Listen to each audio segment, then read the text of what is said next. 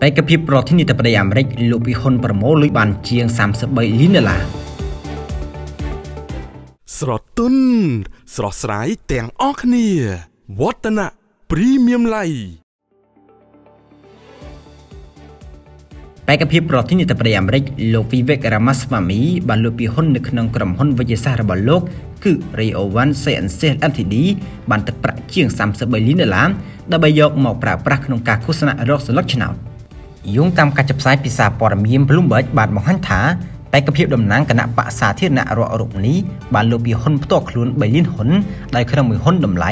11.05ដុល្លារហើយបច្ចុប្បន្នលោកនៅសល់ពីហ៊ុនប្រហែល52លានហ៊ុនទៀតរំលឹកបន្តិចថាការពីខែកុម្ភៈឆ្នាំមុនមហាសេដ្ឋីរ៉ាម៉ាស់ម៉ាមីក៏ធ្លាប់លក់ពីហ៊ុនដ៏ច្រើនបែបនេះនិងទទួលបានទឹកប្រាក់ជិត32លានដុល្លារហើយក៏បានប្រកាសប្រឡូកនៅក្នុងឆាកនយោបាយក្នុងពេលជាមួយគ្នានោះផងដែរ។ សូមជម្រាបដែរថាបើទោះជាលោករ៉ាម៉ាស្ប៉ាមីទើបនឹងប្រឡូកនៅក្នុងឆាកនយោបាយជាមួយនឹងបទពិសោធន៍តិចតួចក្តីប៉ុន្តែលោកគឺជាបេក្ខភាពប្រធានាធិបតីអាមេរិកដែលមានប្រជាប្រិយភាពបំផុតមួយរូបសម្រាប់ប្រជាពលរដ្ឋអាមេរិកស្រទន់ស្រស់ស្រាយទាំងអស់គ្នាវឌ្ឍនៈ Premium Light